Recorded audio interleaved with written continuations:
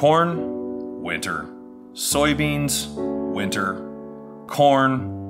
While this rotation has been productive for many years, farmers in the southern half of the Midwest will soon have a new choice to allow you to keep this productivity, do more to build soil health, and earn new income.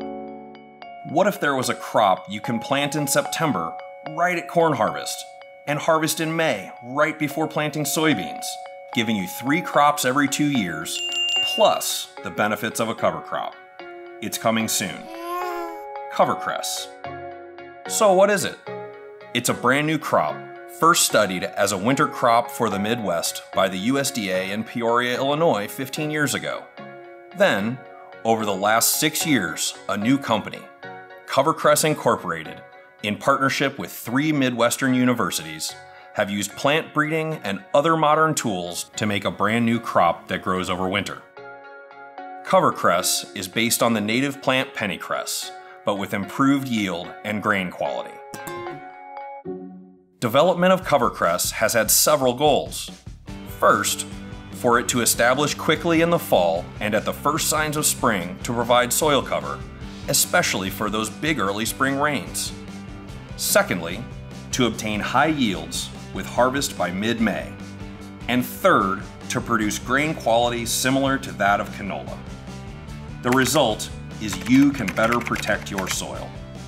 Plus, you bring in a new source of income using your existing land and equipment. Producing a new oil for fuels like low carbon aviation jet fuel.